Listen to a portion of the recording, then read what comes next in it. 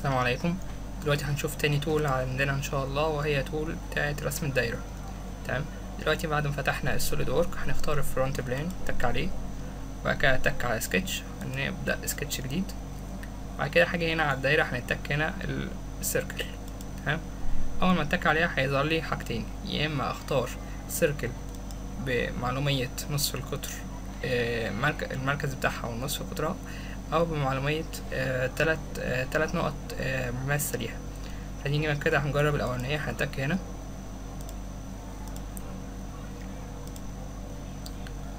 هنتك على السيركل تاني. هنتك على الأولانية. هنا هيطلب مني أحدد المركز بتاعها بعد كده نصف القطر بتاعها. تك مثلا هنا كده.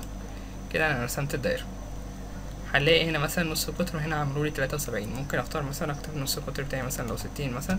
اكتبها يبقى دي دايرة نص قطرها ستين ملي ممكن نغيرها تاني حوالي مثلا نقول لو مية. دي كده دايرة نص قطرها مية ملي تمام؟ طب عايزين نشوفوا التالتة دي. التالتة دي أنا عندي عايز أرسم دايرة بمعلومية تلات نقط أو تكون مماس لتلات نقط. طيب هنيجي مثلا نعمل هاجي هنا كده. هنيجي هنختار ال line زي ما عملنا المر- الدرس اللي فات. هختار line أرسم مثلث مثلا حاجة بالمنظر ده وأعمل escape عشان أخرج منه. بعد كده أرسم دايرة بمعلومية التلات نقط التلاتة tangent عندنا. هنيجي هنا هنختار مثلا tangent الأولاني وهنا مماس تاني. آه sorry هنرجع أعملها تاني. هنا هنختار الأولاني التاني التالت يبقى أنا كده رسمت دايرة مماسة للتلات آه أضلاع اللي عندنا. نيجي مثلا آه، عايزين نرسم هنلاقيه هنا برضو وعملولي ده كده دايرة نص قطرها تلاتين آه تلاتين ونص ملي هي كده مماس التلات أضلاع عندنا. تمام؟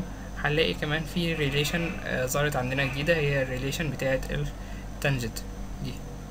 دي كده الدايرة دي مماس الخط ده. تمام؟ دي كده عمرها ما هتتغير.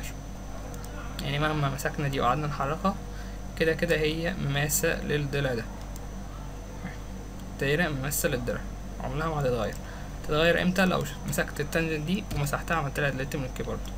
دي كده تكبر يبقى الضلع ده مش مماس للخط المثلث لكن بقية الضلعين التانيين برضو لازم يكونوا مماس ليها تمام؟ ده كده آه، كان تاني درس اللي هو كيفية رسم الدايرة. ونشوفكم الدرس اللي جاي إن شاء الله مع كيفية رسم المستطيل. شكرا. والسلام عليكم.